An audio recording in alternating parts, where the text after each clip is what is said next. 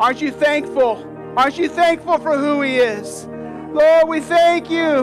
We thank you, Lord. We thank you. Thank you, Lord.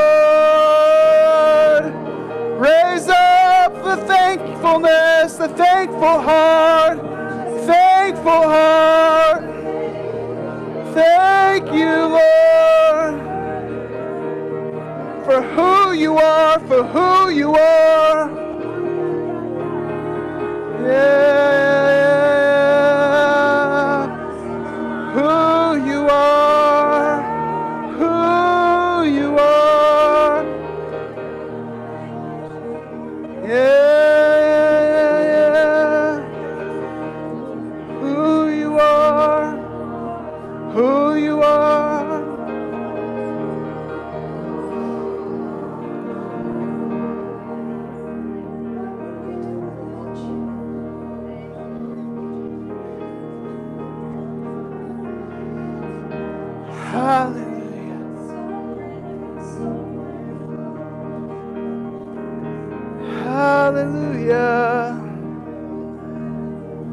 Hallelujah. Raise up the hallelujah. Hallelujah.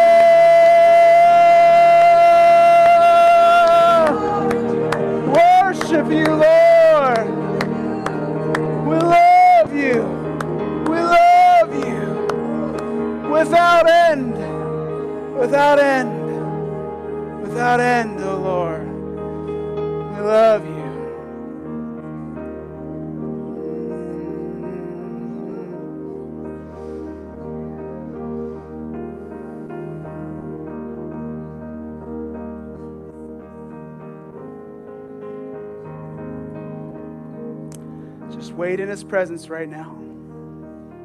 Just wait.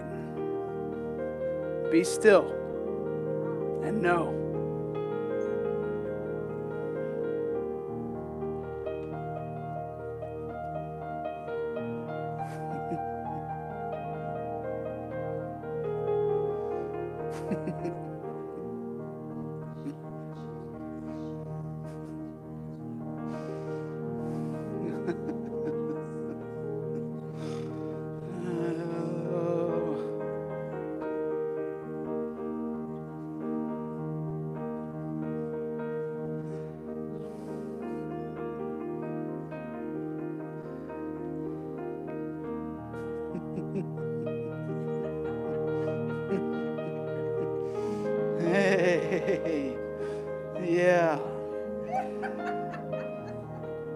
Lord's delighting over us right now. Just let Him like you.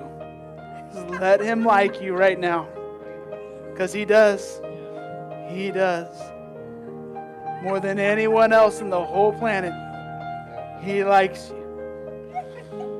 Just let Him delight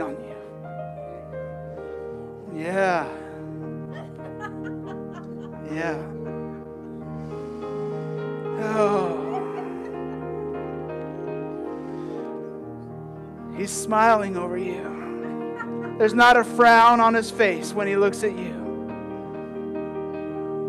He's smiling over you.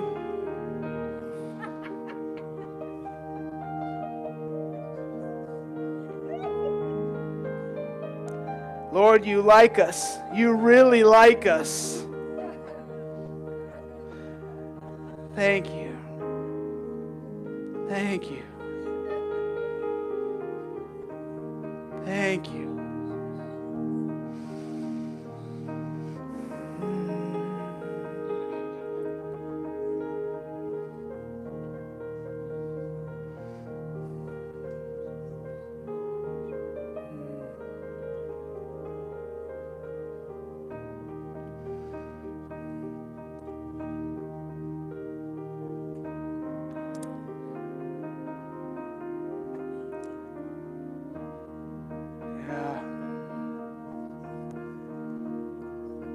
Take a seat and stay in this atmosphere right now.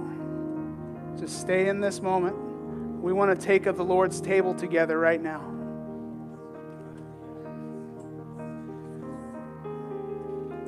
As the ushers bring the elements around, if you prefer gluten free, grab the cracker instead of the bread.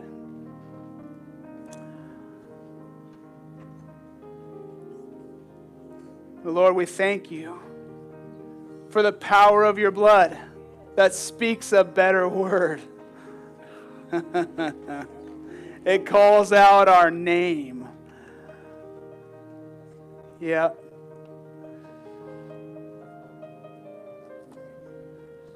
Yeah.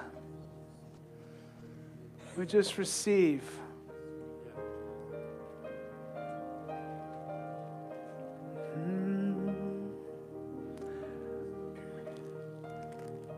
When you come to this table, it's already prepared. No work to be done because the work's already been done. He said, It is finished.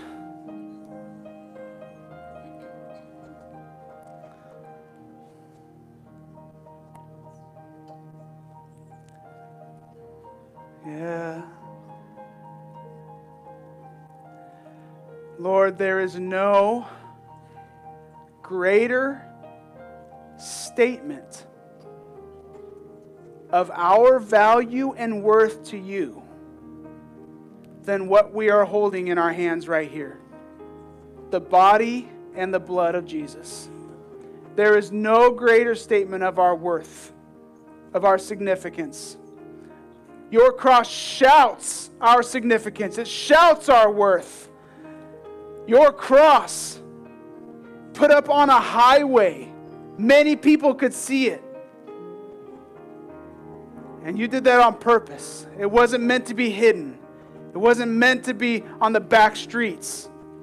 It was out in the open because you were shouting and declaring your value of us. You said we're worth it. We're worth it.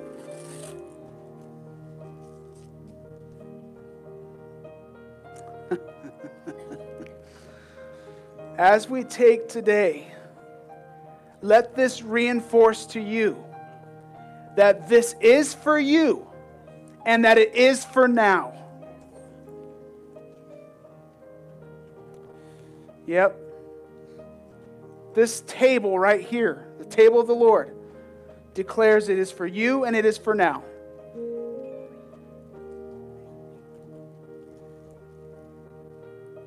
There's no distance anymore. There's no delay anymore.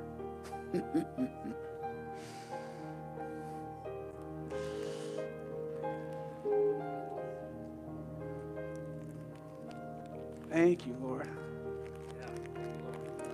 Thank you.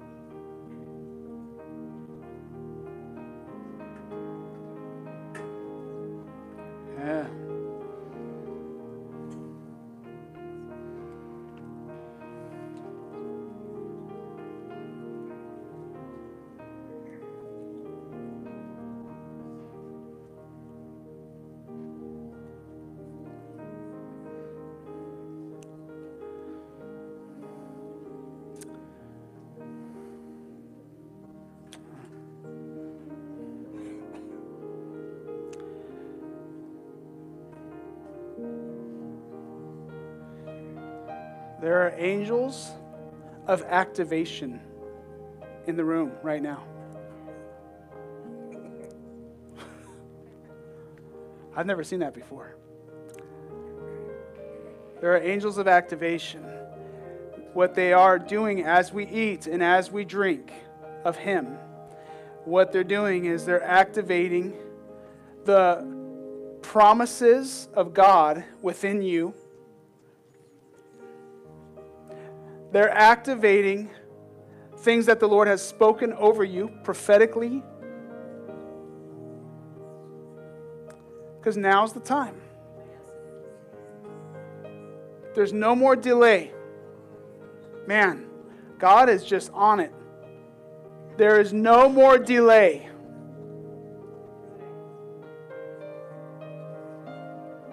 The faith of the Son of God within you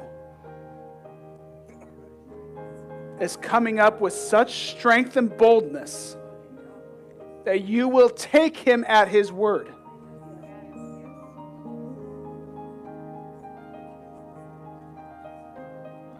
And the reason why this is, is so is simply because of what you're holding the body and the blood. It's not something you did, it's something He did. So, Lord, thank you for your body given for us, that by this body we can be whole people. Whole people. Yeah, whole inside, whole outside. Thank you, Lord. We thank you for your body given for us. As we eat, we declare your body, my body. Go ahead and eat.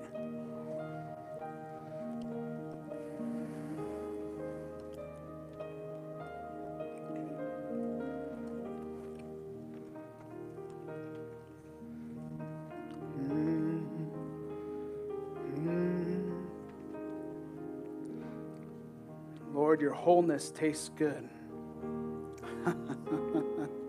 Thank you. And now for the blood.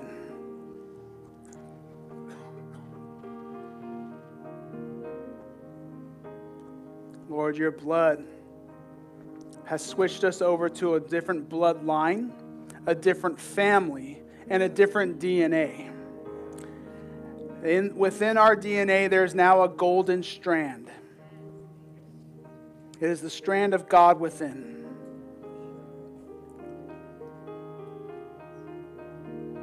And we thank you for the activation we're receiving from you right now through your angels activation into promise, into manifestation, into fulfillment, into fullness, overflow. Thank you that all this is by the power of the blood. Go ahead and drink.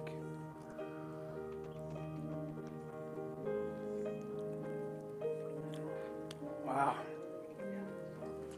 Wow. Thank you, Lord. Thank you, Lord.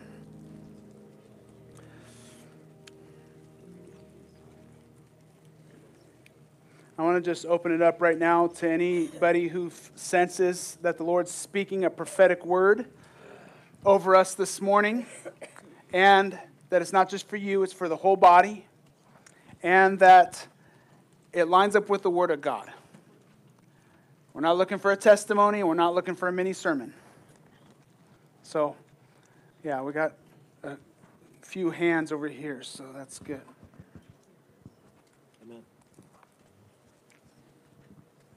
I heard the Lord say this morning, get familiar with your weapons. Amen. When a soldier goes into battle, he can have a whole arsenal of weapons at his disposal. But if he doesn't know how to use those weapons, it's not going to do him a bit of good. So God said, Get familiar with your weapons. The weapons I have placed within your hand have been proven, have been tried in battle. They've never failed. So get to know your weapons and get familiar on how to use those weapons because if you leave those weapons dormant, they're not going to accomplish anything in the battle. So pick up your weapon. Yeah. Yeah. Amen. Amen. What the Lord showed me when I was praying in the spirit, the Lord showed me there was going to be a great war on the whole world. Lucifer was rising up to do war on the whole world. His time, his time is coming in, and we are supposed to stand firm and stand above mm-hmm. all things. Stand. Yeah. Yeah, amen. Oh, and I have a word for you. Okay. The Lord showed me you have a, a horn like the, the unicorn in the scripture, the one horn. Hmm. Remember in the word? And it represents Yeshua HaMashiach. Man, it's big on you. You you were you were standing in you were standing for him 100%. It's it's on you. I can see it spiritually. It's awesome. Okay. Thank you. I'll try not to whack anybody with it. So, yeah. Yeah. well- Um, when we were singing, um, there was a line in one of the songs that says, "You shine in the shadows." And as we sang this verse, I saw a desert landscape, um, and it was mostly in shadows. But as I drove through the desert, I turned a corner, and the shadows gradually went away. As they did, the glory of God revealed itself in a carpet of color that covered the hills in a desert spring bloom. I asked, "What did this mean?" God said, I'm taking you into a time of flourishing and new growth. Stay on the path, and greater glories will be revealed and brought to fruition. Just like a desert spring bloom, it only comes when the time and conditions are right, and the conditions are right. That's so cool. okay. All right. Oh, man. Whew. Okay, as we were worshiping, the Lord said, The battle is mine, it's not yours. Yep. And the Lord said, As you wait upon me, you will begin to decree my word. And I say unto you that my word will never fail, it will never fall. I say unto you that as you speak the uh, blood to cover, that life is in the blood. And I say unto you that as you direct your prayers, as you direct your words, as you decree my blood, that life will begin to flow into that thing. For the battle is mine. It has never been yours, it never will be yours. For I say unto you that you have uh, everything that I have. Yep. You have the sword of the Spirit, which is the Word of God. And as you speak, the angels of God will begin to take that word and go forth and minister that word. For I say unto you that it's my word, it's my word, it will never fail, it will never, ever fall. And I say, trust me, trust me, trust me, for I will do what I said I will do. Mm-hmm. Mm-hmm. Yes. Yeah. Yeah.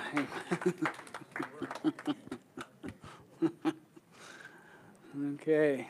Two more.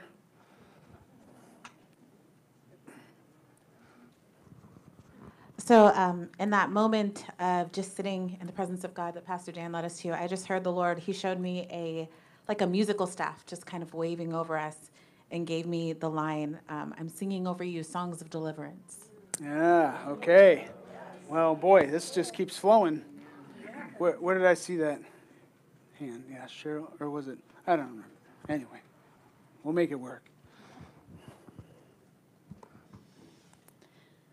As we were singing, um, I really saw the King of Glory. I saw Jesus on a white horse, and and I was trying to find the verse in Revelations, and I couldn't find the right one. But then Lord gave me this: the King is coming, in Psalms 24. So wake up, you living gateways. Lift up your heads, you doorways of eternity. Welcome the King of glory, for mm-hmm. he is about to come through you. You ask, Who is the King of glory? Yahweh, armed and ready for battle. Yahweh, invincible in every way. So wake up, you living gateways, and rejoice. Fling wide, you eternal doors. Here he comes, the King of glory. He is ready to come in. You ask who is the King of glory? He is Yahweh, armed and ready for battle, the mighty one, the invincible commander of heaven's host. Yes, he is the King of glory. Yeah. Do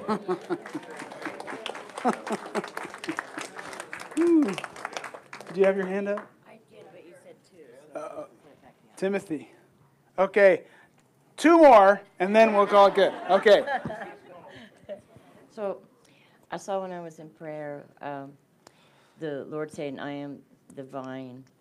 And this is a season where our old ways are not going to work for the harvest God's That's bringing right. in. And that we, He has to sever us to for His life giving sap. And if anybody's ever seen the way that they prune um, grape bushes, if you have all these suckling ones on there, you're going to have a small bundles. But if you cut off all those suckling ones that are not bearing fruit, all the fruit of Christ is going to go into the major ones. And so there's some branches that have been attaching themselves to the Lord of, the, of our old ways that are not going to be working in the new thing that I do. Mm-hmm. And we need to be cut at the end of ourself to be tapped into the sap that Christ has for this end time harvest. So what worked for us in the last season is not going to work for us in this season. Yeah. And so we have to be available to be able to change, to let our own ways, our own thoughts go, because the greater thing is He going to teach us, and He's going to stretch us and increase us to include these sheep that He's bringing in, these hungry ones. They, they don't have to perform. They don't have to. They are yearning and hungry, and God is stinking us out there. And there is more Christ in some of those out in the streets than there are in the buildings, and it should not be. And those He's bringing into you, they are hungry for Him. They're yearning for Him, and they're receptive to Him. And it's going to be through the love and the compassion of Christ in us. It's not the behavioral. It's not the. None of that is here. It's the love of God for His people that's Yeah. going to touch the hearts of them. And so that's the grafting. That's the cutting off of the old until nothing but Christ's love is shining through us for His people. Yeah. Yeah. Amen. okay, the icing on the cake.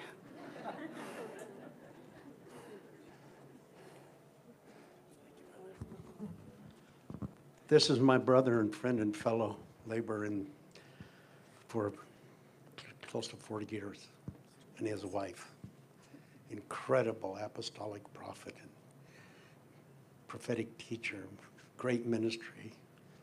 They've paid the price greatly and loved Jesus and been faithful all the way. I want to introduce them to you. He's got a word from God that told, the Lord told me he did. Is that true? Yeah. And, and so I think we should honor those that God brings among us that are governmental in their offices. Yeah. They're proven, tested, tried. And uh, I just am blessed by him being here. Thank you for this moment to be able to. There's prophecy that every- every saint can do, and then there's apostolic prophets that speak to the entire region and to nations and to peoples, and they shift things. Yeah. So I want you to welcome Stuart Lawson. All right.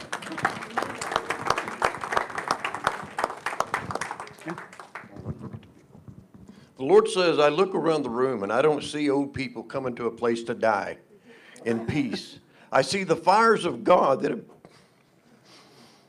burned in the past. You're the embers. You've been in some of the biggest battles and the biggest spiritual warfare. You have fought the fight. I have not brought you here to rest in this pastor's peace, but I brought you here to build a fire, that the embers would come together. And a fire draws varmints. There's one thing that I've taught for years. If you want to see where a move of God is, okay, you'll see that where there is wolves in the crowd. Why? Wolves are attracted to blood. And when you preach the blood of Jesus, the crowds will come. Don't be surprised when the wolves show up. You have to have the embers of the past who've been experienced, who knows how to fight, who knows what a fire should look like. They've been the fire. They're not burnt out, but they are the collective fire of God that it's here. This is to you this day. You're not in a place of peace. I don't want to discourage you, but you've come to a war camp. All I have to say is, this is to you, this people, at this time. You're only going to accomplish what God wants as you come together. And my amber puts with your amber and creates a brighter fire. And that fire is going to draw the varmints. You need to be prepared for that. His leadership has got to be strong, have discernment, have knowledge. They have got to know that what is a misguided person and a wolf in sheep's clothing. Yeah. They have to know what is a spiritual gift and the ego. Yeah. They can't crush the gift to control the ego. Yeah. Okay.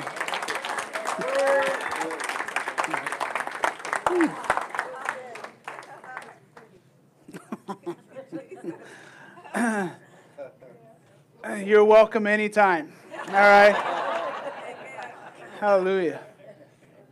Wow. Wow.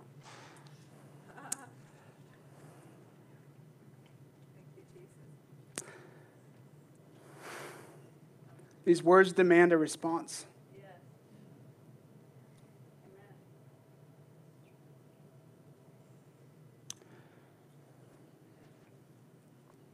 Hmm.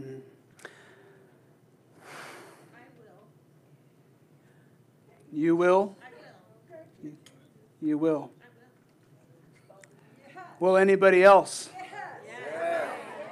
Will anyone else take up your weapon, stand firm, stay in the fight, burn, burn, burn for Jesus, burn, be a burning one.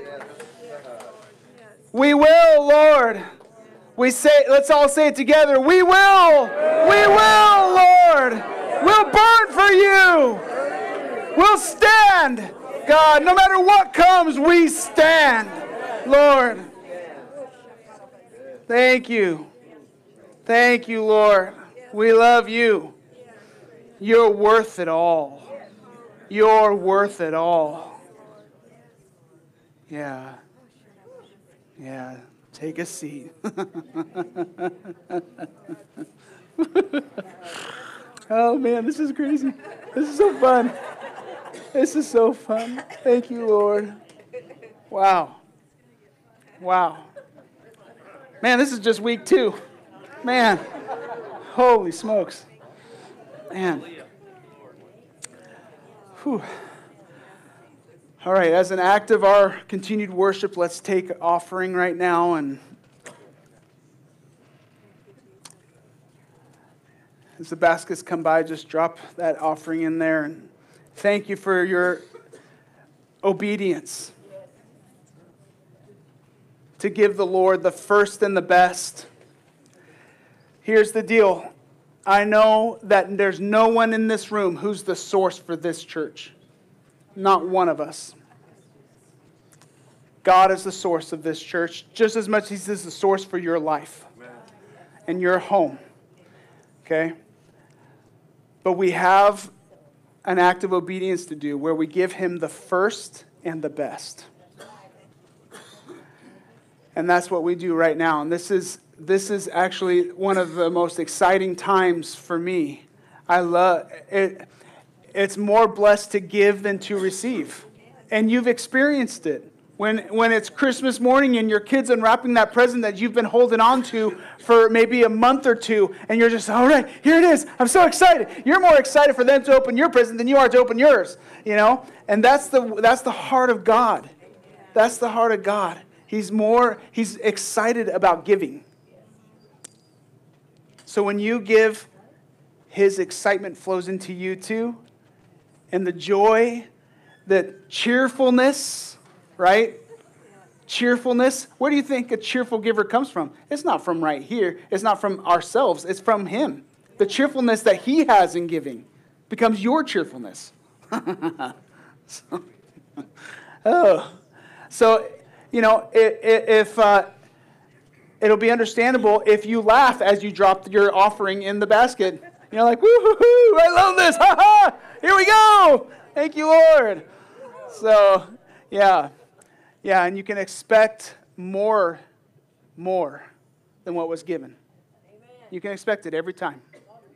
So, Doesn't matter how much it is, you can expect more. so, thank you, Lord, for taking what we're giving. We declare it's yours. Do with it what you want. In your name, amen. Amen. All right. Well, this this morning we have. Oh, you you already got a lot. There's more. So so you know if you're already feeling full, you're gonna have to make more room. Okay. So uh, we have Sister Joan Pearce with us today, and for those of you who don't know, she uh, has functioned as an evangelist for a long time, but the Lord has shifted her into an apostolic because she's going, she is traveling all over the place, bringing the power and the message of God to his church all over the place, lighting fires everywhere she goes. Okay? She's shifting culture. That's apostles do that. That's they they set heavenly culture in a place in a region over the church, over the the whole atmosphere. They they set heaven in that place. That's what they do.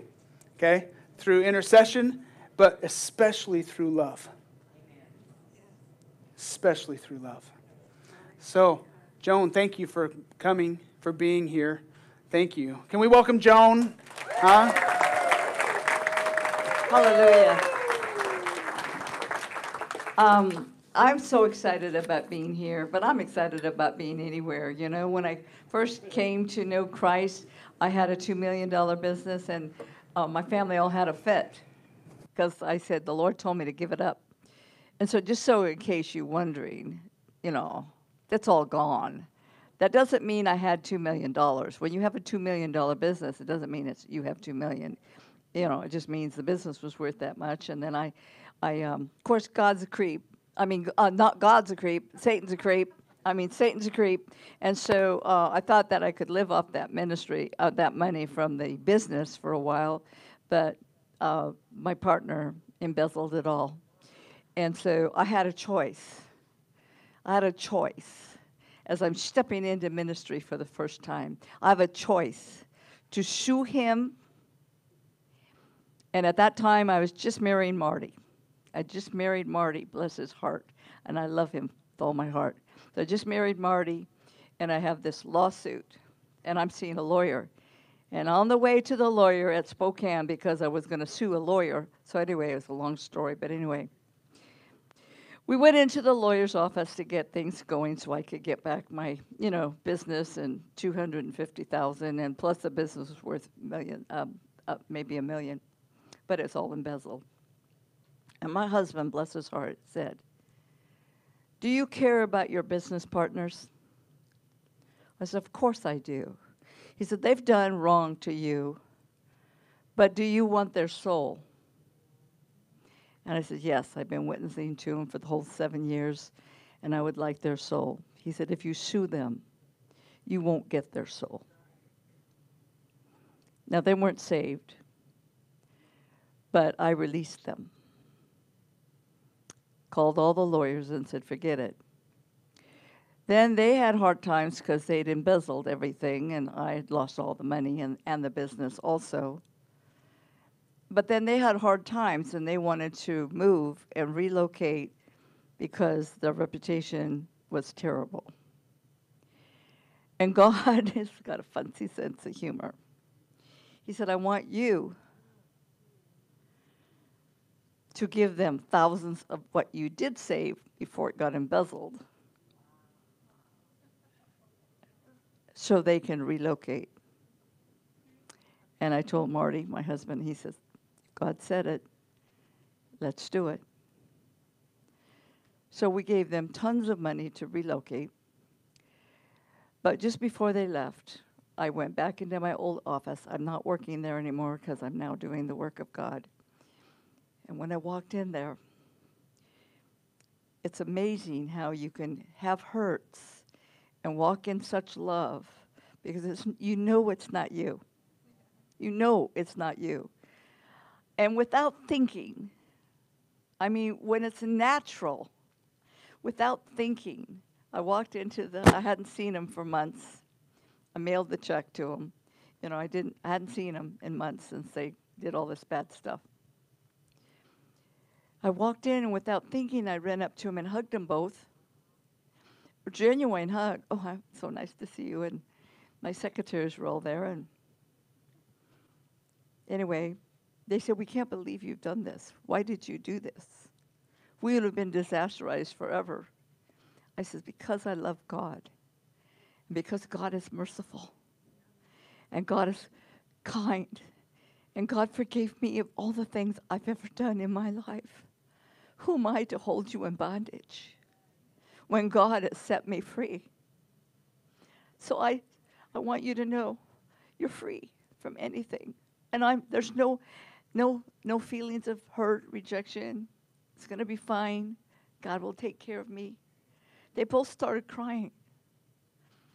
Can we accept this Jesus that you know?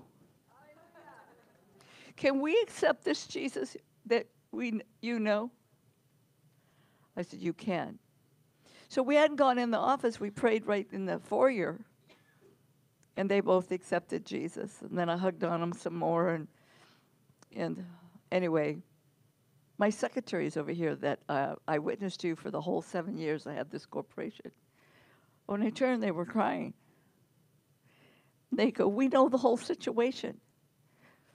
Follow us to the back of the warehouse. I had a huge building. You would have loved my building. My building's like three times this building. But anyway, so that's what I, I lost, though. But anyway, so they take me through the warehouse and way behind the stage where I do rallies. And uh, I said, What is it? What is it? They go, We're way back here. I said, We're in a closet behind the stage. And they go, We want to pray. We want this Jesus that we have heard about. And we've seen how you live for the last seven years. And now, even though you're out preaching, we see God in you. That's what God wants from us. And there's a shift. And the shift is in the heart. The shift is in the heart.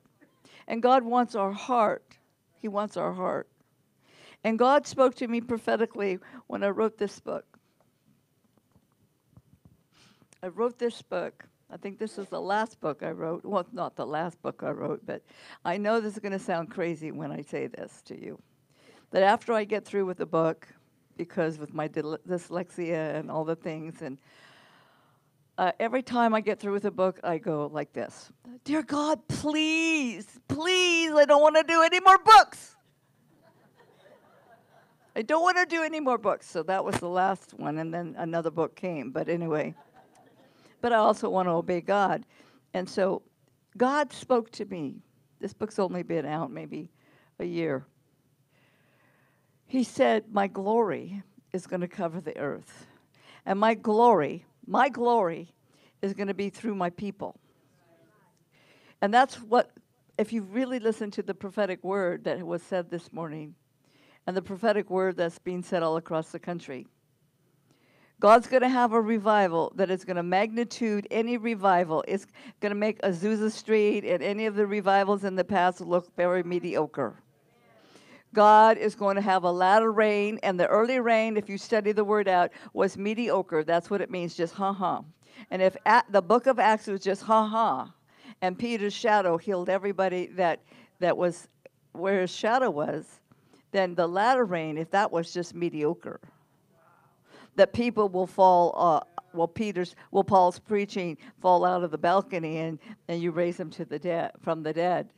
I mean, I have had the privilege of raising two people from the dead, which scared me absolutely. I mean, I'm telling you, I was petrified. And, and some of my books have. One was my son. In fact, I'll just share the story. And, uh, but you need to get this book and you need to study it because it talks to you on how to stay so that you're constantly walking in the glory no matter what's going on around you. Even if atomic bomb hit, you're going to still walk in peace and in the glory because you have learned how to be in the glory present. So this can be, you can order it here, you can order it on Amazon, you can download it on Amazon, you can go to my bookstore, and there's all kinds of resources. Because God wants each and every one of us to walk in the book of Acts. So you see, Acts did not stop with the last chapter in the book of Acts. So every single one of us can walk in our own book of Acts. And God is saying the book of Acts never got completed. It's not completed. It doesn't end with the last chapter. You might start another chapter and another chapter and another chapter because each and every one of us can walk in our own book of Acts because you're going to reach the multitudes and the multitudes with the power and the anointing of God. Because God spoke to me that the glory of God is going to cover the earth. And who is his glory? You are his glory. But you need to know how to be sensitive to the Holy Spirit, how to walk in the book of Acts, and live in the book of Acts and expect miracles everywhere you go. And each region is going to have miracles and miracles and miracles and miracles that are going to reach and reach and reach. Because God gave me a vision. It's actually on, on Facebook right now. We just did it the other day because the Lord told me to put it on. I saw a tsunami. I saw a tsunami. Now, we're not talking about um, a vision, I mean, a dream. It was a vision that happened to me while I was preaching in a huge church. Praise and worship had just got done. I was standing on the platform. All of a sudden, open vision, open vision. I mean, not not a dream. The whole sky opened up, and this vision was so horrifying. And I saw this tsunami coming from the west. Just want to let you know you're in the west. You know, so this tsunami came from the west and came over the whole United States, huge tsunami.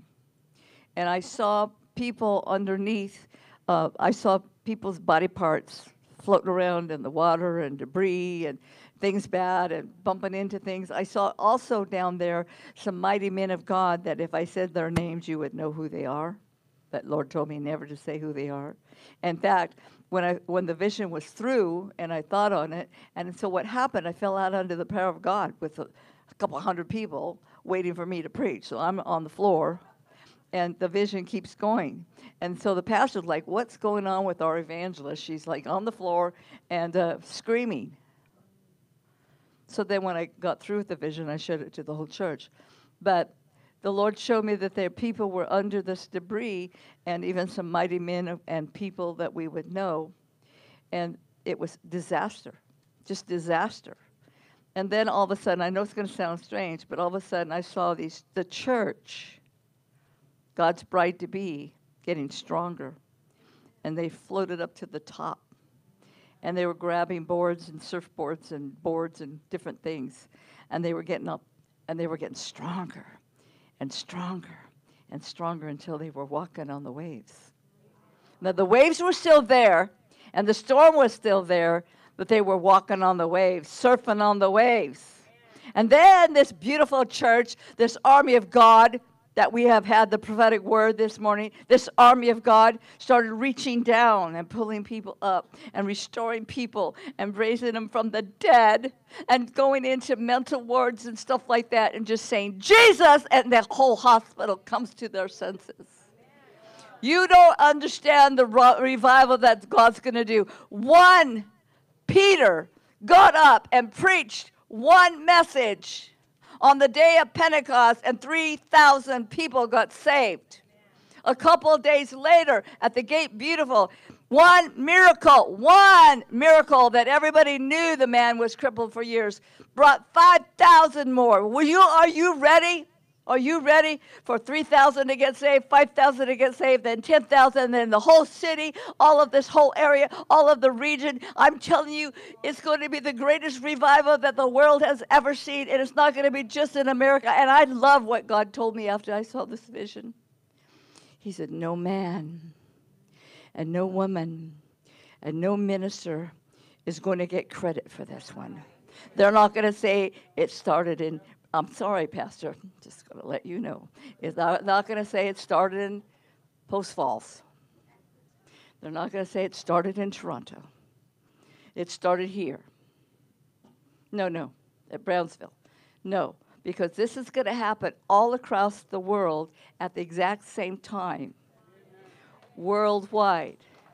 So you're going to walk in his glory because he will, he said, Isaiah 60, he said, Arise and shine. Darkness will come.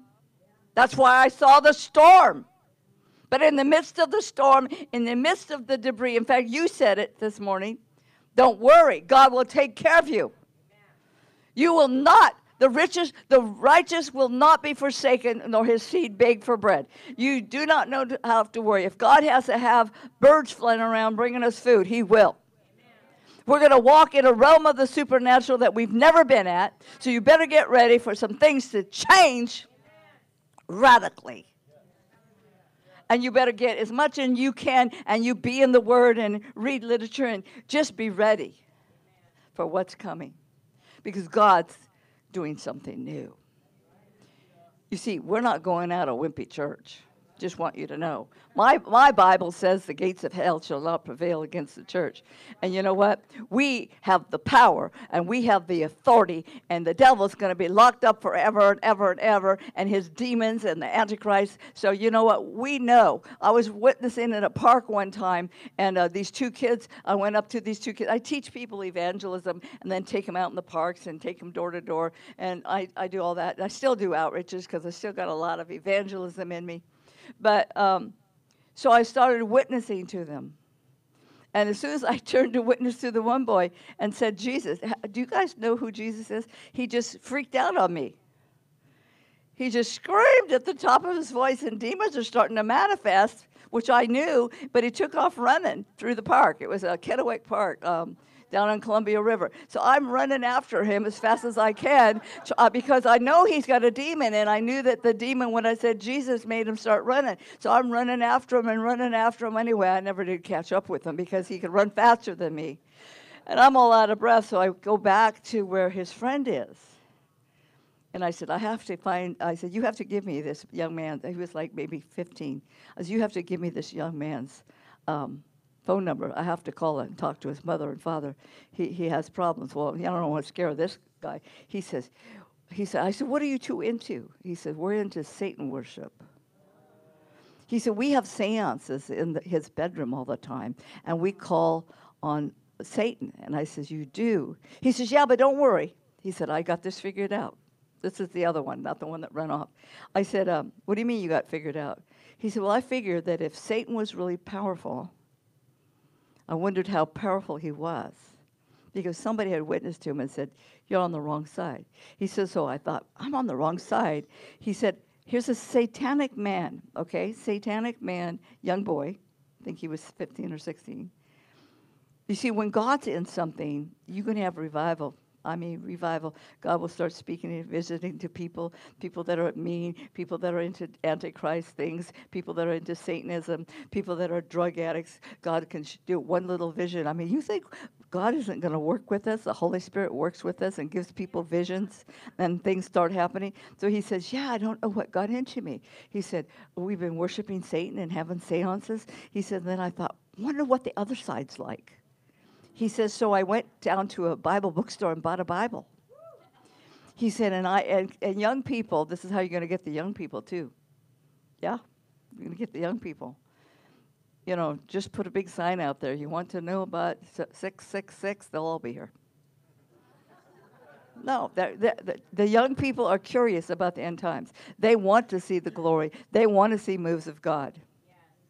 They're tired. You know, you start having miracles with young people, they'll get the word out faster than you can. So anyway, uh, he says, yes. Yeah, so I got this Bible at the Bible bookstore, and he said, and I read the back of it. I said, what do you mean? He says, yeah. He said, I said, oh my oh my, he said, oh, I couldn't believe what I read. It says that the Satan and the false prophet and the Antichrist are going to go in a pit of fire and burn forever and ever and ever. And I, he says, I'm on the wrong side. he says, so I'm trying to figure out how, how do I get on the other side? I said, well, I'm glad I'm here.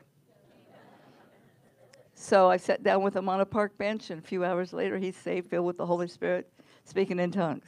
I called the number. He did. He finally broke down and gave me the number of the one that ran off. I called and called that number to try to talk to the parents. They, I just left answering machine, answering machine messages.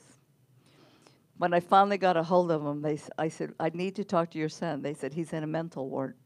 Now, I didn't want to tell him that because of what I did, he ended up in the mental ward, but um, it had nothing to do with me. What happened is when I said Jesus, the power of Jesus, the devil overtook him and they had to put him in a mental ward. And I said to the parents over and over, I can come. I can take care of this. I know how to do this. And he can be set free. And I called several times to see if they'd let me know where he was. And they said, if you call our house one more time and talk about all this Jesus stuff, he said, I'm going to call the police and have you arrested. And I said, Did you know they were doing seances in the bedroom and this and that? He goes, Yeah, it's just kid stuff. So people don't realize how bad things are. And we have a whole generation and toys that are demonic, and video games that are totally demonic, and uh, Pokemon cards that are totally demonic, and TV shows that are doing everything they can to get us to, ch- uh, the children to become lesbians, homosexuals, transgenders, uh, disobey their parents. It's in the cartoons, it's in everything. Because we're living in the last days, and Jesus is coming soon. And with even with the hurricanes and the earthquakes and everything, Jesus is coming very, very, very soon. So you don't have years to get ready. You better get ready now. And if you're really hearing for the voice of God, you're hearing God say, Get up and pray. Seek God, do some fasting, get in the Word, get in the Word, get in the Word. Now, you've been in a school of the supernatural, and I've been talking to you all week, and God is putting it on my heart to do more of the schools of the supernatural. Now, for seven years, I'm just going to tell you, because God had to spank me. So, seven years, this is my first school. I stopped doing them. I got so upset, so hurt, because I, I, I would rent a hall and hire musicians and hire catchers, and two people would show up, five people show up. Time after time after time, and I said, I'm not going to do these no more. I said, Did you hear? I didn't hear God say. Well, when I came here,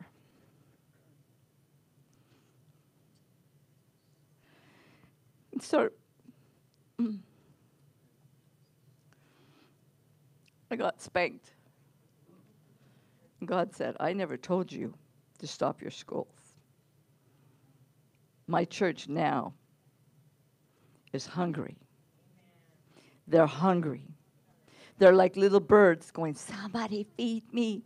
Somebody feed me. I want to know about the supernatural. I want to know. Because a lot of churches that I used to preach in all went seeker friendly. Well, Sister Joan, you're too radical in the Holy Spirit, so we don't want to have you anymore.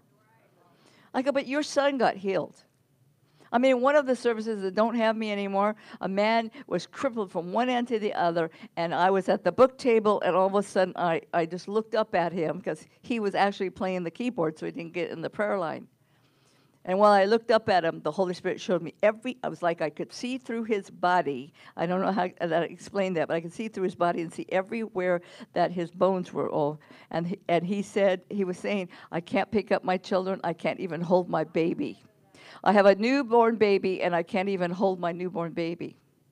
And all of a sudden, I just reached over. He didn't fall out under the park. I just reached over, took his hand, and all of a sudden, Marty was there too. You heard pop, pop, pop, pop, pop, grind, grind, pop, pop. He started screaming. He came with me to churches all over Florida and talked about how total, immediately healed. So we need to walk in the supernatural. So God told me to start doing these schools again. So I'm doing one here, one in two weeks, and God's going to get all the glory. Because people are ready. They're ready. They're ready. They're ready. They're ready. And so, for those of you that have been at the school, you're going to be getting certificates tonight. And I want to thank you. Because I said, Lord, I said, Lord, I don't want to do no more schools with three or four people. So, by faith, I ordered 100 books. Now, you didn't use all 100 of them, but that's okay. I think we had a pretty good turnout, and I'm very, very, very pleased. I'm very thankful that you came out. And it's not about people and numbers. It's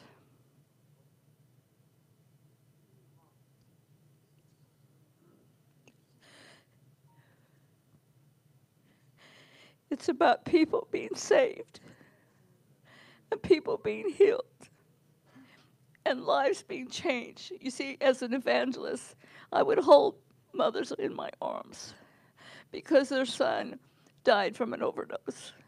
And I remember when I was in East LA, they asked me if I'd come down to the Bloods and the Crips. And I said yes. They asked me to come down, so we set up a huge platform, almost as half the church size. And we went into the projects. And they said, Joan, you're going in some places that you're going to get killed. I said, I am not getting killed, and I want you to reverse those words. I have angels on assignment. I have, I mean, when I first got saved, what you're saying about angels? When I first got saved and moved to Kennewick, I wasn't there very long. And I was driving. I was still Catholic. I just got saved, but I hadn't quite left the Catholic Church, so I'd go to Pentecostal church on Sunday. Took a while, and the Lord had to pull me out of it. Anyway, these angels showed up in my car.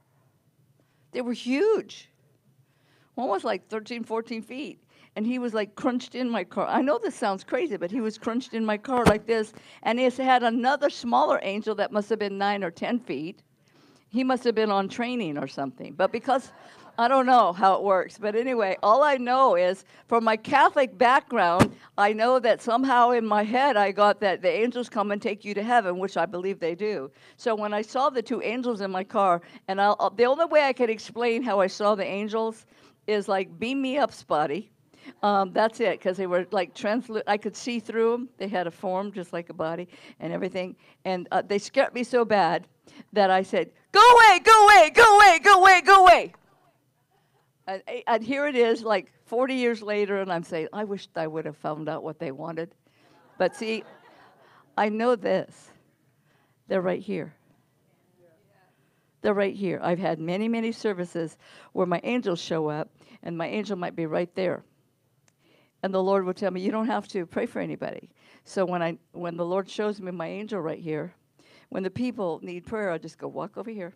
As soon as they hit that spot, until five or six are on top of each other, because it was just. I do know that angels work with me, and they work with you. So, usually, how I pray before I preach is this Father, I just come before you in the mighty name of Jesus. I thank you, Jesus, that you're here in the midst of us. That where you two or more are gathered, you're here. You're here, right here. You're here to do the same yesterday, today, and forever, like you always do. So this morning, there's people that need healing, touching, uh, touch from heaven. Maybe they need filling of the Holy Spirit. Maybe they need sickness to leave their body, deliverance, whatever they need. God, you're here to do it, and I thank you, Holy Spirit. Get Joan Pearce out of the way, and let me only do and say what you would have me say. Angels, you do what you're supposed to do because you're supposed to work with me, the heir of salvation. You do what I can't do. I'll do what the Holy Spirit tells me to do. And everything that's done this morning, will, all glory goes to you, Almighty God, in Jesus' name. So, those of you that had workbooks, I'm going to teach a little not long because I want to pray for everybody. So, uh, if you have a workbook, 42, page 42. For those of you that don't, because a lot of you weren't here to, for the school, uh, you should get your Bibles out. You should have Bibles. Now, I don't know about people that don't carry Bibles, but anyway. So, but I I know a lot of people don't carry Bibles because their Bibles are in their phone. And I'm so thankful that my Bibles are on my phone because I'm in my Bible on, on and at nighttime I put the Word on while I'm sleeping, and and then I wake up and I'm on top of the iPad and I'm uh, slobbering on my phone or whatever because I put the Word on. It's usually on all the time, and praise tapes too. Okay, so uh, so for those of you, Luke four. There's a very important little session. Okay, Luke 4, it says in, in verse 1 And Jesus, being filled with the Holy Spirit, returned. He just got baptized by John the Baptist, okay. And Jesus was filled with the Holy Spirit, returned to the Jordan, was led by the Spirit into the wilderness. And being tempted 40 days by the devil, and in those days he ate nothing, and afterward he's hungry. I want you to know the devil is going to try to fight this revival. The devil's going to fight and try to pull out all stops for this revival that's coming. So you better learn how to do spiritual warfare and know how to be prayed up at all times because you don't know when God's going to use you to lead somebody to the Lord or pray for the sick or when something's going to happen that a demon manifests in your face. You never know. So you need to be ready. And when the devil said to him, he waits till you're weak. He waits till you're tired. He's, he's not going to attack you when you're on fire for God. He's going to attack you right after you've done a big event, like after a tent meeting. Used to, after our tent meetings, and all these people would get saved and saved and saved, then, then it would be attacked. Not anymore. No, no, no, no. I don't let the devil attack me. He used to attack me when I got started. As soon as I get through preach, preaching, it was like, you didn't say that right, you didn't do that right, you didn't do this right. Uh, and finally I said, shut up, devil. You're such a liar anyway. Why would I listen to a liar? Why would you listen to a liar? And then I said to God, you know, say, God, I'm not a good preacher. I don't probably know how to preach. I don't even know how to put sermons together. In fact, I didn't know how to put sermons together that when I went to Bible college, they had a class called hermeneutics, which is how to put sermons together. I did one message from hermeneutics. My pastor and two of the uh, teachers had been with me on the mission field and knew how I preached. They called me into the dean, and they go, "You're getting an A in hermeneutics." Actually, it was the only A I got in the Bible college, so it was only. Oh, and they gave me an A in hem- hermeneutics because they said, "We don't want to do any. Uh, we don't want you to take hermeneutics." I said, "Well, uh, am I doing it wrong?" I read the book. I did it the way the book says. And they said, No, you didn't do it wrong. You did it right. It was the worst preaching you've ever preached. but you did it according to the book. You have a unique way of ministering, and we don't want to mess what God's put in you, so we don't want you to have a year of hermeneutics. So you get an A, and when that class is on, you can go sit in the office and pray or something. so you have to be you. So all I say to God is, and you have to do what I'm saying, all of you whatever I have, God, whatever t- talents or gifts you've given me, use them for your glory. Use me that people be saved, healed, delivered. Use me, God, for the gifts. That's why we, uh, Pastor Tim talked. There's so many different gifts, and a minister can't do it. all. I need somebody to be a prayer warrior. I, I, I believe me. I don't even know how to spell. Some of you had me write in your books. I have no idea what words they were, but you figure it out.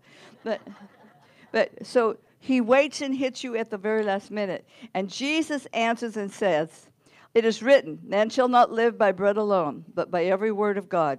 And the devil, taking him to a high mountain, showed him all the kingdoms uh, in one moment. And the devil said to him, If you, I give you all authority, I will give to you their glory and deliver unto me.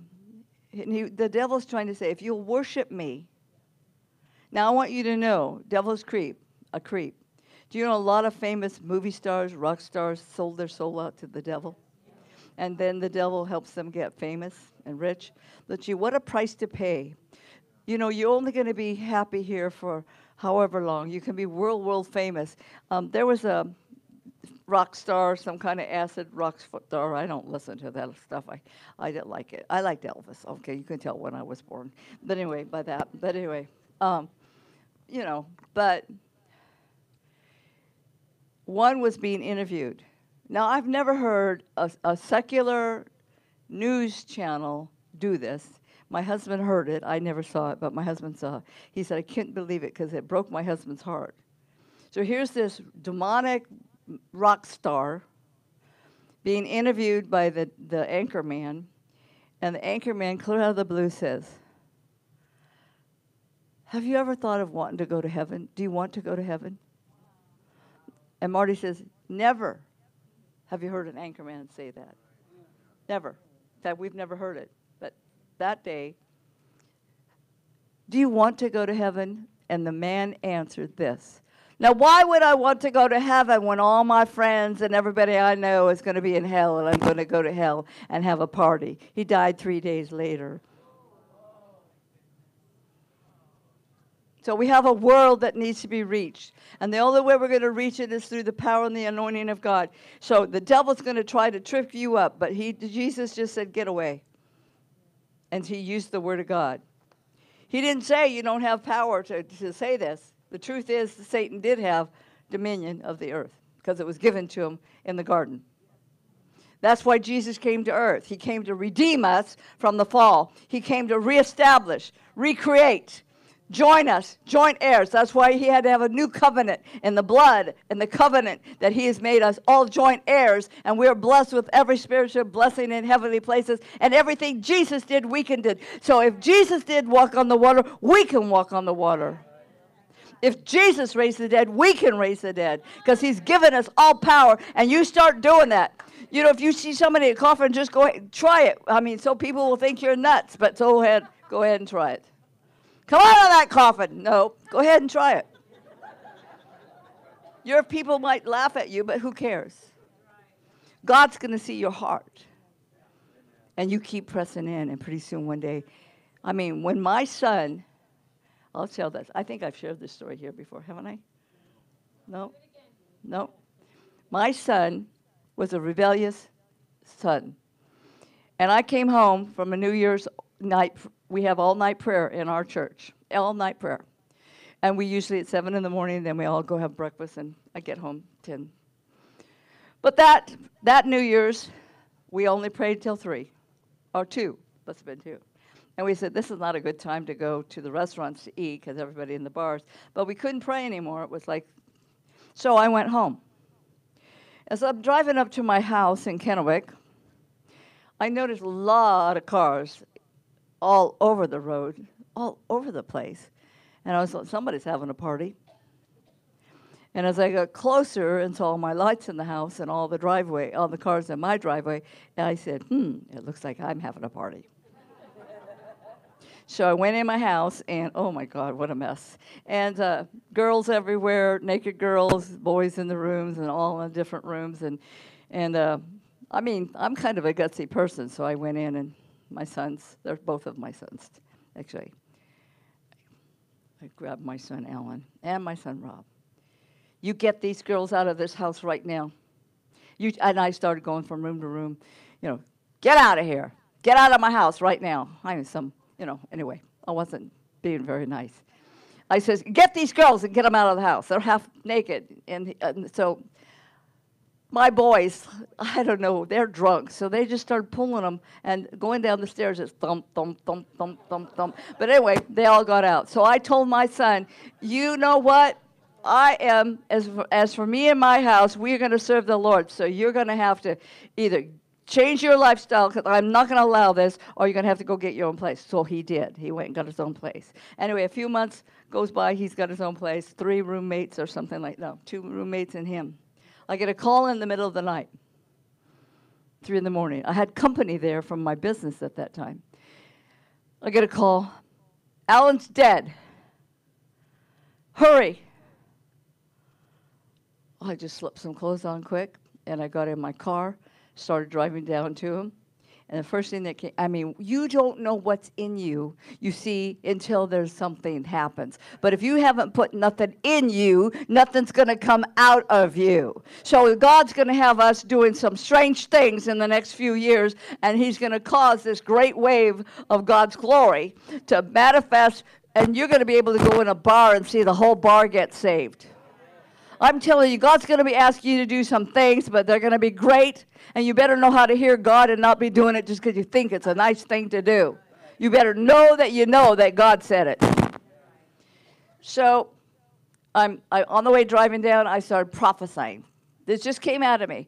Live, Alan, live. You shall not die. You shall glorify. And then I said, God, you promised me and my household. And I'm prophesying, prophesying, prophesying all the way down to his apartment. When I got down to the, his apartment, policemen were there because the, they had called the policemen, and the policemen were in the parking lot trying to find his apartment. And I says, "Follow me." So we went into the apartment at the same time. There's my son, dead on the floor, and the teenagers are yelling at me, and the policemen are talking to me, and I just stood there over my son's body, and I looked at the two policemen and the two other teenagers. I said, "Shut up." I need to hear God. And I walked in the hallway of the apartment and I said, God, I don't know what to do. And I heard God speak. And I'm not talking here, I heard it like thunder, lightning here. Go in, turn your son over. I'll never forget what I heard. Go in, turn your son over, pray, and put your hands in the middle of his back. He'll be up and fine by noon. So I walked back in. I said, Roll my son over. The two teenagers said, Nope. Policeman said, We can't touch him. There's people coming to take his body. I said, He's my son. I said, Roll him over now. And those teenagers, the policeman wouldn't touch him, but the police, they rolled him over. I knelt down over my son's body. He's face down now. I looked up at the policeman and the two teenagers and said, I don't know if you believe in God or not, but I'm going to pray. I closed my eyes. My, my son's actually stiff. I don't know how to explain it, but his body's stiff, stiff. So I don't know when this happened. So he's stiff. I put my hands and I started praying in tongues. I started praying in tongues, and then the Holy Spirit told me to touch him. I prayed in tongues, and then I put my hands right in the middle of his back. And, and when the Holy Spirit do it, I did it. Boom, like that. And when I did, his whole body went boom, boom. I mean, stiff, up. The Lord said, do it again. Boom, boom. It was just like as if you had those paddles that you went like that, and their body jumped. And then I said, roll him over. They rolled him over. I got down like this. My son's eyes all of a sudden just went. He opened his eyes. I said, Tell him to call me at noon. I'm going home. The policeman said, What do you think you're doing? I said, I'm going home. They said, oh. I said, No, I'm going home. He was dead, and he came to life. Because you need to know what's in you, because you don't know when it's going to come out of you. So you can't let the devil start using you up and stuff like that. So this is what God says. Romans 8 1. There is therefore no condemnation to those who are in Christ Jesus, who do not walk according to the flesh, but according to the Spirit. For the law of the Spirit in life of Christ Jesus has made me free from the law of sin and death. For that the law could not do in what was weak through the flesh. But God sent his, sent his Son in the likeness of sinful flesh, and on account of sin, he condemned sin in the flesh, that the righteousness requirements of the law might be fulfilled in us who do not walk according to the flesh, but according to the Spirit. For those who, li- who live according to the flesh set their minds on the things of the flesh, but those who, who live according to the Spirit, that's the Holy Spirit, set their uh, things of the Spirit.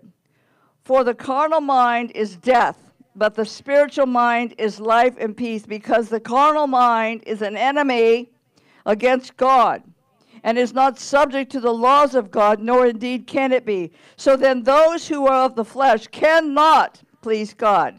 But you are not of the flesh, but in the Spirit.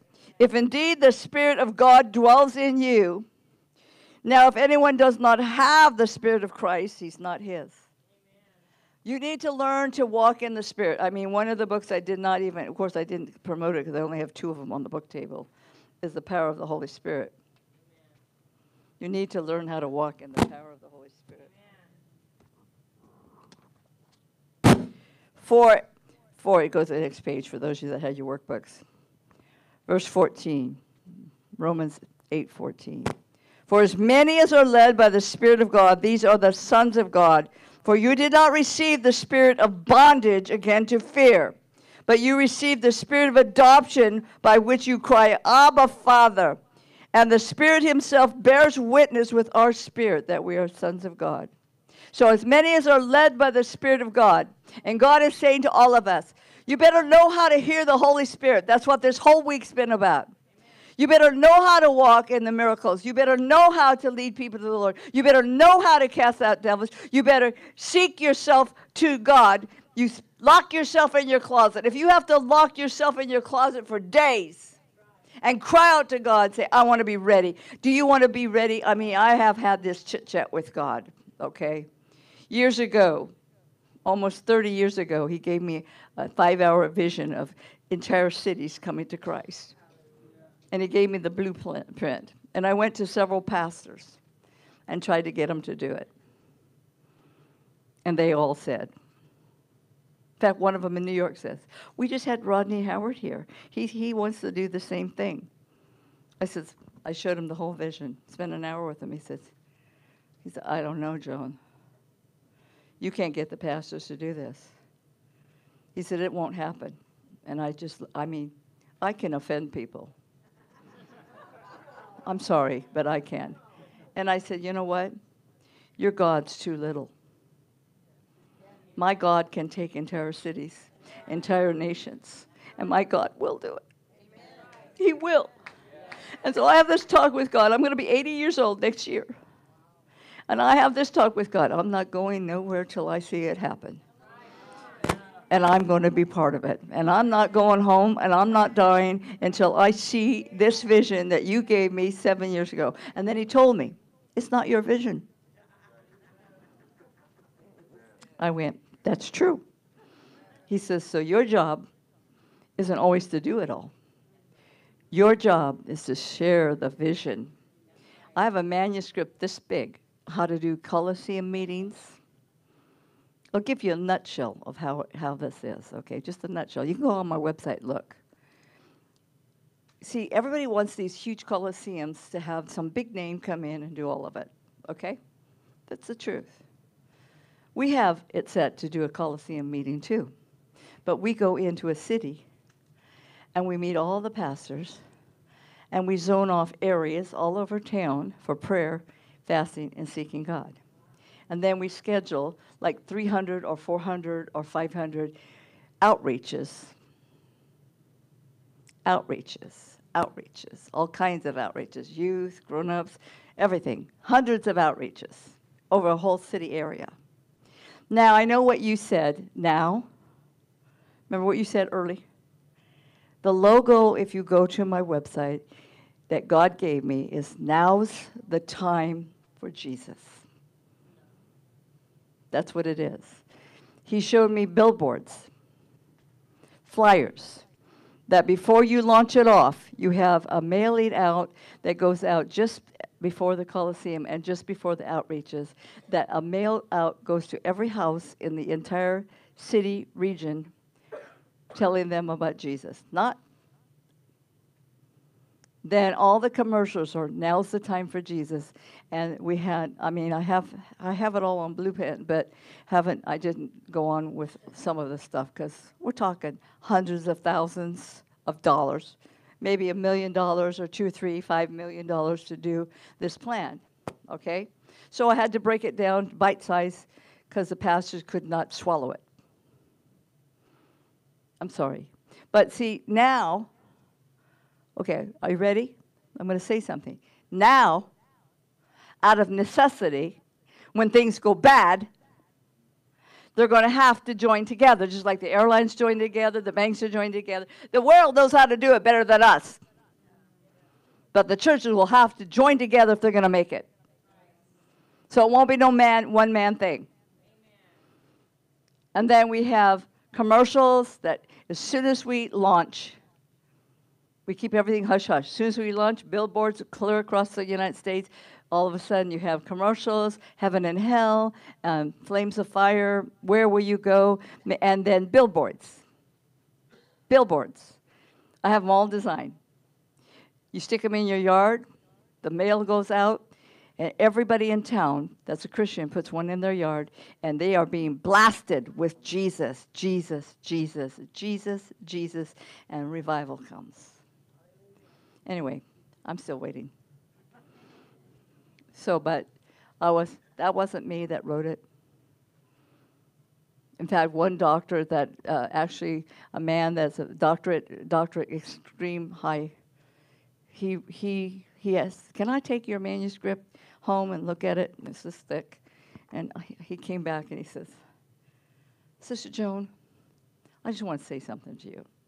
I've known you for a few years." And I don't want to hurt your feelings, honey. But I know that you are not smart enough to do this manuscript. I said, No, I'm not, but the Holy Spirit is. All God's looking for is people that have a heart after God. There's one scripture the Holy Spirit says, You forgot a scripture that's very important. And I said, Okay, well, we're, let me find it. Musicians, please come up.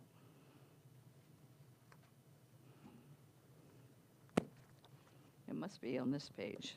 It's the last page of the book.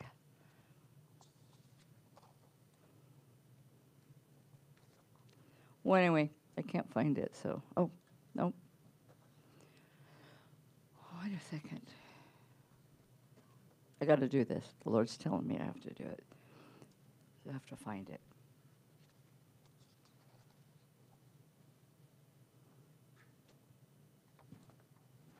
Oh, there it is. Luke 4 18. When Jesus came into the synagogue, he said, The Spirit of the Lord is upon me because he has anointed me to preach the gospel to the poor. He has sent me to heal the brokenhearted, to proclaim liberty to the captive, to restore sight to the blind, and to preach and proclaim the acceptable year of the Lord. And when he closed the book and he sat down, he said, This scripture is about me. And they tried to kill him. I'm just telling you, you better be prayed up. And we've all been sent out. And this whole week is saying, and I'm telling you, mark my word, I'm speaking as a prophet right now. Don't take this week lightly, please. Please do not take this week lightly. I know what's going to happen real quick. I know what's coming real quick. Don't put it off. Get ready. I am being dead serious. I don't want to see you as a statistic. I don't want to see you as falling off, and a great falling away will come before the great and awesome day of the Lord. And I don't want to see any of you falling back. But the main reason I do these schools is because there's so many people that are hurting. There's so many families that don't know what to do. There's people only taking half a pill because they can't afford it. There's people that are eating dog food because they can't afford groceries. There's people that are losing family members, marriages falling apart. Their children are on drugs or they're on drugs. M- believe me when I say this, when people come off a high, they go, oh God, I don't want to do this. But the devil has them bound. Wake up, sleepy church. Wake up, sleepy church. Wake up. There's people everywhere you go. When you're getting your nails done, when you're pumping gas. Everywhere. And tonight, I'm going to put tools in your hands and teach you how to lead people to Christ, how to witness to Christ, and how to lead people into the baptism of the Holy Spirit. Tonight, I'm going to put tools in your hand so you can become evangelists to bring in this harvest that God is bringing in. Father, we just thank you, Almighty God. God. Go ahead and lead us in a song as I wait on the Holy Spirit.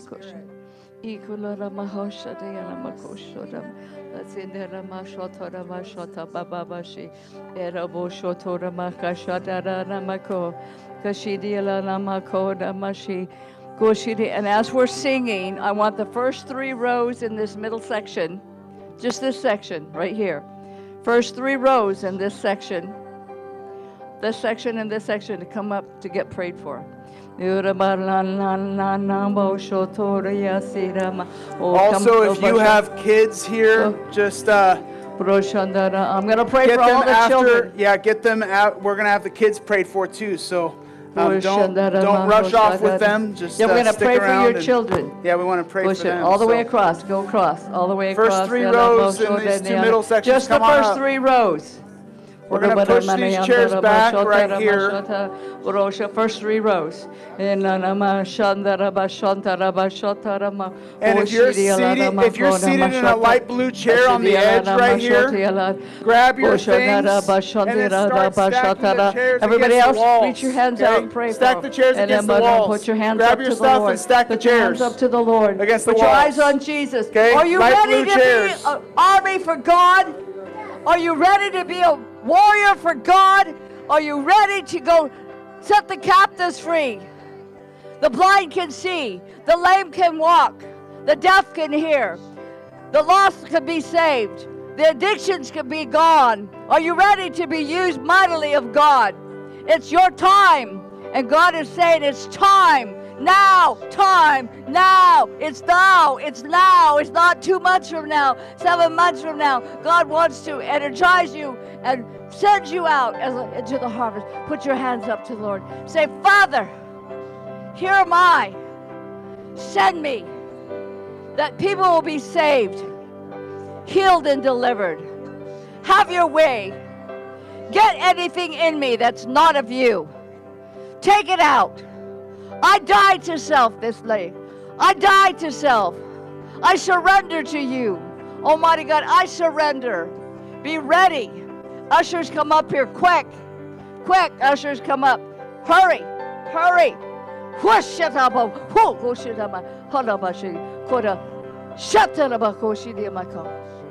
Ushers, be ready. I need a few more ushers. Fire of God. Fire of God. Catch him, catch him. Fire of God. I need catchers. Fire of God. Fire.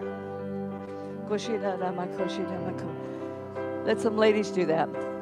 Pastor, there needs to be ladies. I don't want pastors putting claws on people. Somebody else can do that, not the pastor. Fire. Fire. Fire God. Fire. Fire. Fire God. Fire. Fire.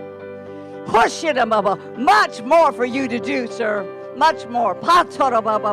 You're not done. You're not done. You got, you, you got wisdom in you, and God's going to restore you, and you're to be. People are going to know you all across the world. Push it, Baba. Tatara, Baba. Fire. Fire of God. Shitara, Mako. Shatara, Makoshi. Fire. Fire. Catch her. Push it up. Fire. Fire. More. Fire, God. Fire. Koto. Hoto. Bashidemaka. Brashatanamako. More. More. More. More. Harabobo Washitialamaka. More. Washilana Mashoti. Brashatana Baba Baba Shitiala. Broshitiala Makona Masi.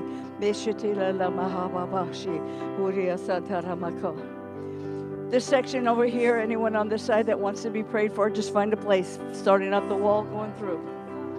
Of course, anyone on this side that wants to get prayed for, just make a line across the front. If there's somebody on the floor, just kind of scoot over beside them.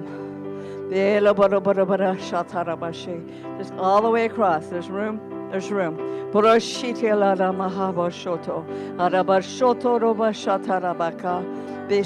Come on, one line over this way.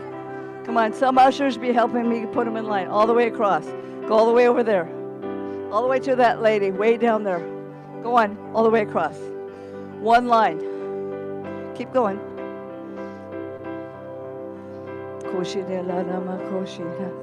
All the way down. Keep them going. Anyone else in this section that wants to be prayed for, come on up. Anyone else in this section that wants to be prayed for, come on up. Bullshit. Anyone in this section or that section, come on up.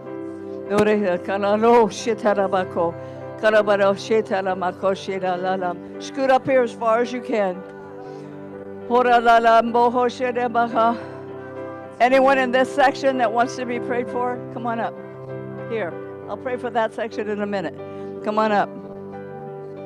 Put your hands up to the Lord so I know who I'm praying for. Scoot up to me as close as you can. Come on, everybody, put your hands up if you're going to get prayed for.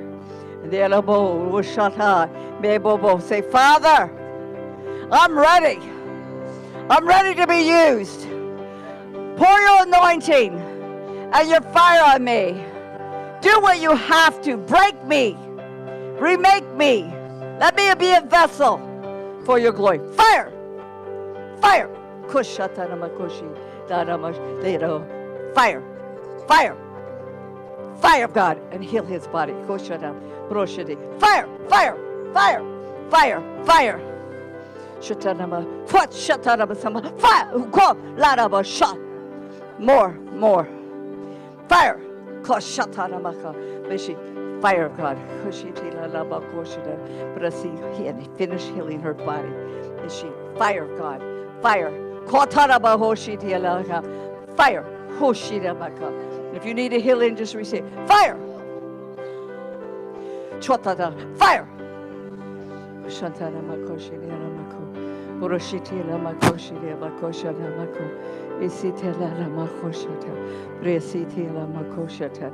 Makoshata. Shita, more, Holy Spirit. More, more, more, more. And touch your body. Healing. I see healing going through your body. Who, who, who, who, who, who, Shadababo. More, more. You're being healed right now. Oh, you, you're being healed right now. Oh, receive it. Healing. Healing is yours. Healing right now. God's all over you. God's all over you. God's all over you. My angels are touching you now.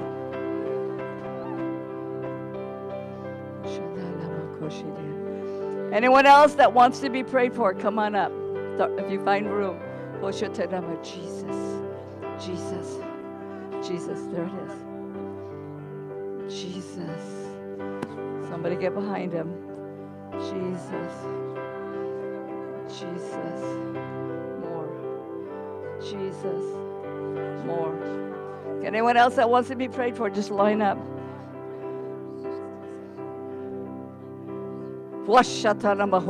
Healing. Deaf ears be opened.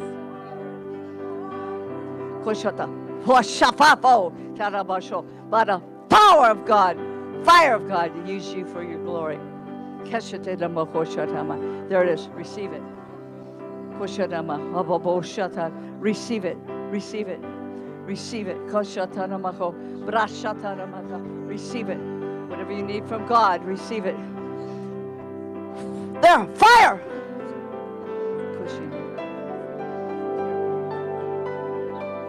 More, more, God. Come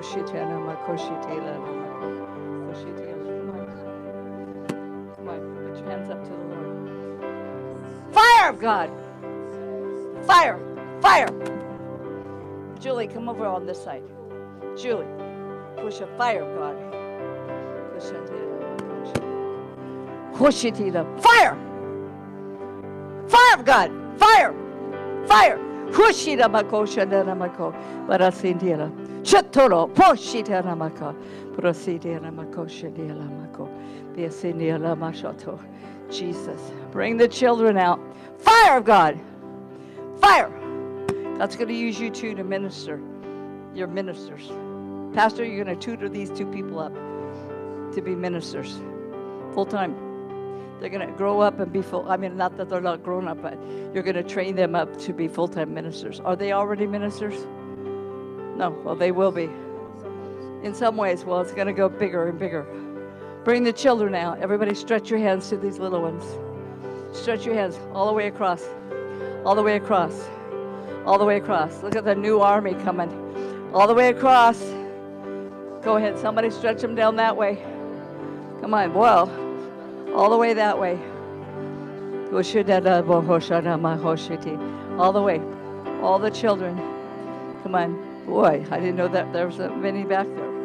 Scoot this way. One line. Okay, come on. One line. Make a line. One line. One line. Okay, put your hands up to the Lord. Put your hands up to the Lord. Okay, put your hands up to the Lord. Put your hands up to Jesus. Put your hands up to Jesus. One line. Put your hands up to Jesus. I want all of you to say, I love Jesus. Jesus in my heart. I will serve Jesus all my life. Jesus, anoint me, use me, protect me. Everybody, stretch your hands to these children because you have no idea what they have to go through. Put your hands up to the Lord, and I'm going to come and pray for you. Lord, let your anointing touch him. Let your anointing touch her. It's okay. Don't worry. You don't have to go nowhere. Say, Father, I pray just blessings on them. I just pray blessings on them. I pray blessings on them. I don't want to scare them. I pray blessings on them. Blessings, blessings, blessings.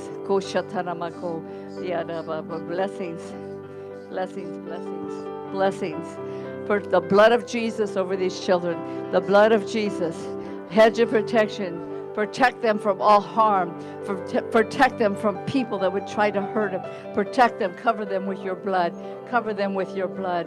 Cover them with your blood. Buroshi, cover them with your blood. Cover them, Jesus, with your blood.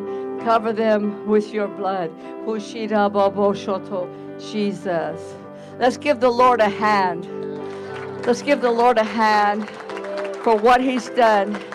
Now, I want to ask a question. Hold on. okay, hold on. All right. Is there anyone here that has a had had a miracle this week? Anyone here that had a miracle this week? Come up. Anyone else that wants to give a miracle testimony? Come up. One miracle in the whole week. Well, that's amazing me. I know a lot of people had miracles. I've had water in my right ear for years. The doctors just gave me some nasal spray and said it'll work. And uh, Joan prayed for me, and I can hear without taking any nasal spray or anything now.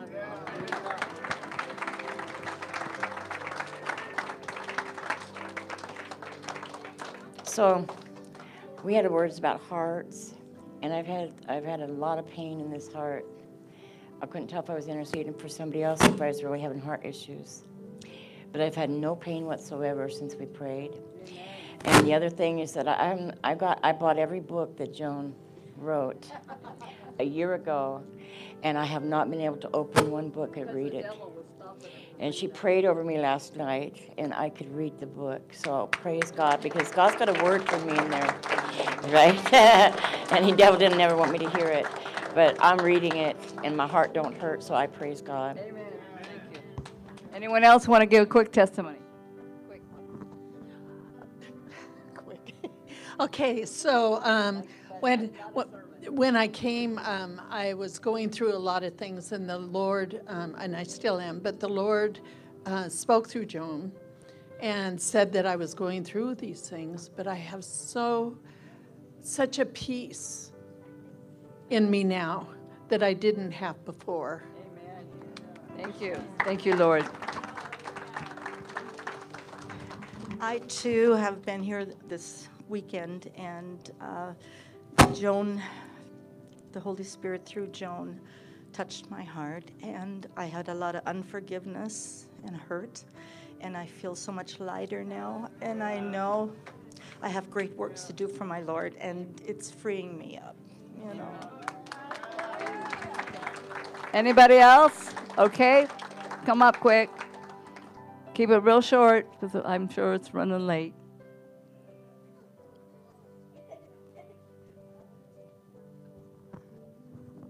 You guys probably don't know me. I'm Dawn. I came with Julie and Joan uh, from Gig Harbor, Washington, and um, so I didn't even know her powerful, amazing testimony literally until this weekend, and um, now I realize why the Lord had me come. Well, a huge part.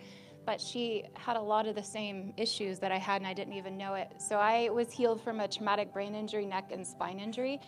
So it really became like life or death for me to hear the Lord's voice. And I had a surgery I didn't need, and it almost cost me my life. And I'm a registered nurse, so there was a lot of medical trauma. And same thing with me before I wrote my book. I couldn't even, my eyes, I couldn't read or write. I had to use a ghostwriter. And uh, so my eyes have still been shaking, but I had the same problem reading. Uh, even, anyway, long story short, I was just blown away because I was like, all right, you know, submit your day to the Lord. Like right when I wake up, I ask the Holy Spirit to use me every day. So, long story short, I was just blown away when he gave me someone's birthday yesterday. And he specifically, there was such a timing on that, and he had me wait to the last. So, you had received everything, and I didn't understand. I was like, okay, is this really for someone here? Is it online?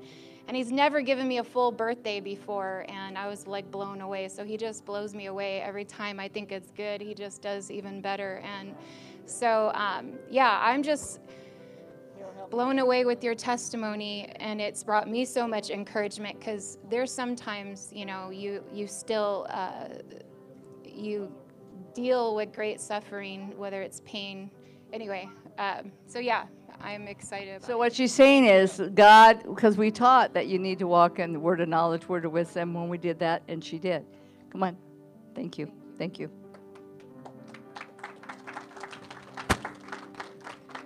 Hi, I'm, I'm Lorraine, and this is my third time here. And um, I actually know God's goodness. I have uh, no meniscus. I have no meniscus on this because of a horrific ski accident. I've been, um, after caretaking my husband for about 16 years, he ended up um, dying suddenly about three years ago.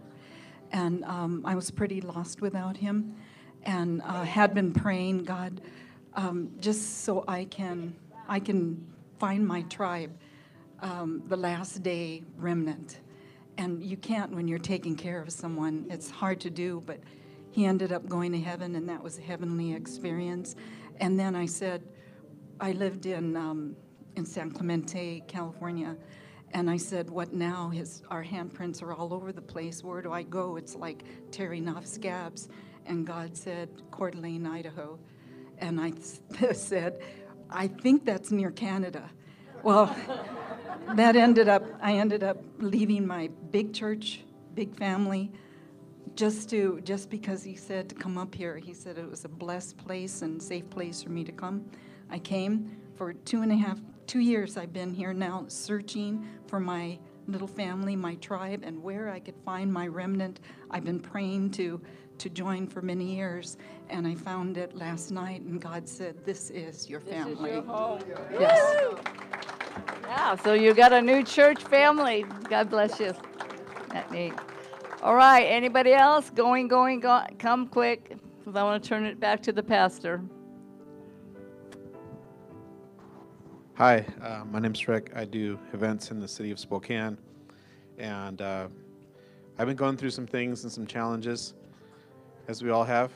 And uh, in the last week, I've been all over some street ministries downtown. Um, I'm waiting on my miracle to come, but every step that I've taken and every place where I've stepped out, there have been people just coming to God everywhere. Miraculous healings money in bank accounts, um, relationships restored, and I'm just doing what God's telling me to do. And I know that He's going to have mine when the time comes in His timing. And I'm just thankful to be here. Praise the Lord. All right, pastor here. You can, pastor. All right. All right, well, that's. I'm going to be out out there. If you buy a book, I'll write something in the book, and I'll be hanging out there for a while. Yep. So,